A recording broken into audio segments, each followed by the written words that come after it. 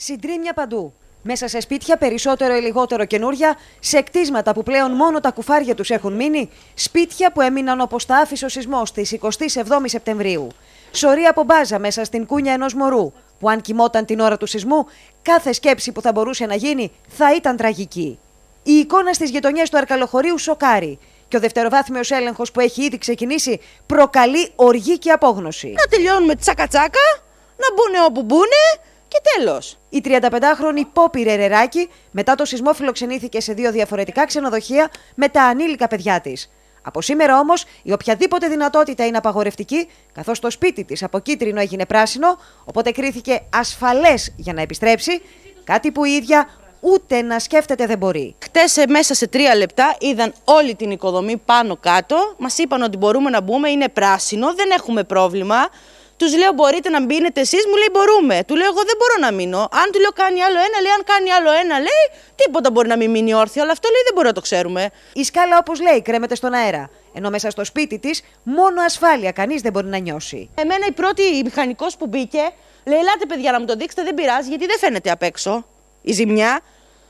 Βλέπει τη σκάλα, μου λέει: Όπα, μου λέει: Πού θα πας εδώ μέσα, μου λέει: Η σκάλα μου λέει: Είναι χάλια. Πώς θα μπεις, μου λέει: Εδώ μέσα με τα παιδιά μου λέει: Θα μπεις. Λέω: Όχι, εγώ δεν μπαίνω. Άρα η δεύτερη που μας τα βγάλανε όλα πράσινα, πώς θα μπούμε; Το ίδιο και οι ιδιοκτήτες όπως ο 54χρονο Σταύρος Καλογεράκης, που περίμενε το ακίνητό του να κρυθεί κατεδαφιστέο, δηλαδή κόκκινο, και τελικά παρέμεινε κίτρινο, δηλαδή επισκευάσιμο. Περίμενα ότι θα το κρίνουν κατεδαφιστέο. Εδώ έχουν σπάσει οι πέτρες, έτσι. Να τα. Πέτρα. Είναι τα πελέκια έχουν σπάσει. Τι να κάνουμε. Οι τείχοι περνάνε τα δάχτυλά μας μέσα στους τείχους, χωρίς κολόνες, χωρίς τίποτα και σου λένε ότι είναι επισκευασμένο. Θέλει πολύ σοβαρότερο έλεγχο να γίνει και θέλει και πολύ περισσότερη πληροφορία ο κόσμος εδώ. Γύρω από τα δομικά και όλα αυτά που μπορεί να γίνουν και αν γίνεται επισκευάσιμο. Στο μετά το σεισμό Αρκαλοχώρη, τα χρώματα στους τοίχους μπερδεύουν. Ισόγειο κίτρινο, πρώτος όροφος πράσινος ή το αντίστροφο. Και μέσα σε όλα αυτά, τα κτίσματα που κρίθηκαν κατεδαφιστέα και κανείς δεν γνωρίζει τι θα προκαλέσουν στα διπλανά κτίσματα, είτε κατά την κατεδάφιση τους, είτε αν η διαδικασία κατεδάφισης δεν γίνει άμεσα. Είδαμε τα πάνω κάτω. Είχα ένα μωρό στην αγκαλιά και έτρωχα να σωθώ. Το ένα σπίτι μου είναι έτοιμο να πέσει και θα πέσει απάνω στο δικό μου.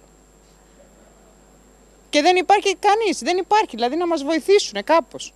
Ανάμεσα στο πρασινοκίτρινο σκηνικό, τα κατεδαφιστέα χρώματος κόκκινου ξεχωρίζουν, έχοντας χάσει ακόμη και το σχήμα σπιτιού που είχαν και που πάντως για να αποκατασταθούν τα χρήματα που έχουν ήδη δοθεί, όπως λένε οι κάτοικοι, είναι κάτι λιγότερο από ψίχουλα. Προβλέπω ότι θα αναγκαστούμε να τα φτιάξουμε από μόνοι μας και θα είναι όπως ήταν και τη δεκαετία του 70. Η πετρόκτιστη κατοικία ενός νεαρού ζευγαριού με ένα μωρό παιδί κρίθηκε στον σεισμό του Ιουνίου ότι μπορεί να κατοικηθεί με αυτό το πράσινο χρώμα. Στον πρώτο έλεγχο, αμέσως μετά τα 6 ρίχτερ, η κατοικία κρίθηκε ότι είναι κίτρινη, άρα επισκευάσιμη, ενώ ο δευτεροβάθμιος έλεγχος έκρινε ότι είναι κατεδαφιστέα. Το αλαλούμ στο Αρκαλοχώρι είναι πρωτόγνωρο. Τα περισσότερα καταστήματα στον κεντρικό δρόμο κρίθηκαν πράσινα και ξεκίνησαν να λειτουργούν.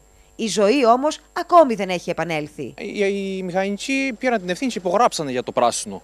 Τώρα, αν γίνει κάτι διαφορετικό, ξέρω κι εγώ. Αν και οι δευτεροβάθμιοι έλεγχοι υπολογίζονταν ότι θα ξεκινήσουν όταν τελειώσει το σεισμικό φαινόμενο, αυτοί συνεχίζονται κανονικά με τα ρίχτερ να χορεύουν στο ρυθμό τους, απειλώντας ακόμη και όσους αυτή την ώρα ετοιμάζονται να μπουν σε οικίσκους, καθώς αν το κίτρινο του πρώτου ελέγχου γίνει πράσινο στο δευτεροβάθμιο, πιθανότερη εξέλιξη είναι να τους διώξουν από τους οικίσκους. Έτσι πρέπει να γίνει. Εφόσον το σπίτι είναι πράσινο, δεν μπορεί ενός αλλού που είναι κίτρινο και μένει στο δρόμο να είναι έξω και να είναι αυτός μέσα. Δεν το καταλαβαίνετε. Ε, εδώ έχουμε μπλέξει λίγο γιατί όλα σας λέω έπρεπε να γίνουν μετά από το τέλος της σεισμικής δραστηριότητας.